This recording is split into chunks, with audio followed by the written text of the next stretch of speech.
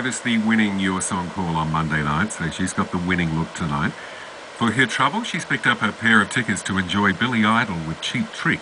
They're playing Qantas Credit Union Arena March 19. Tickets are on sale through Ticketek as we speak.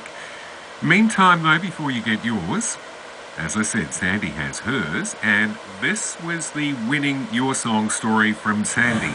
So tell us about your song, Sandy. I'm just hanging to hear Tusk from Fleetwood Mac. Oh, okay, yeah, yeah, it's a good song.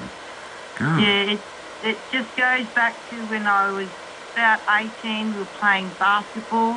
Yeah. And we played for every grand final that we'd go into. And we went into a lot of grand finals. We'd hype ourselves up and then we'd lose. and what Every single grand final.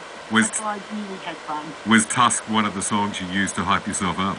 Tusk was the one We'd be in the back of the van. Yeah. We'd pull up and we'd have that song blasting out of the back of the van. Yeah. And then we'd all pile out. And we were able to just be in the back of vans back then.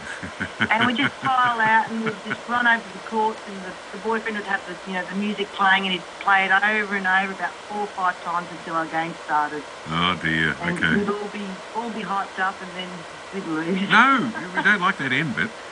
It's it's we funny. Never won one. We did six grand finals and we never won one of them. Well- we, were, we did drink a bit. True confession, Sandy. yes. We don't See- drink anymore, but yeah. Oh, well, you don't drive around in vans anymore either.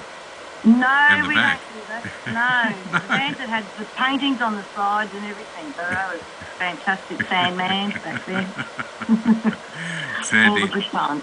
thank you for letting us know the story behind your song from Fleetwood Mac. Wonderful. WSFM.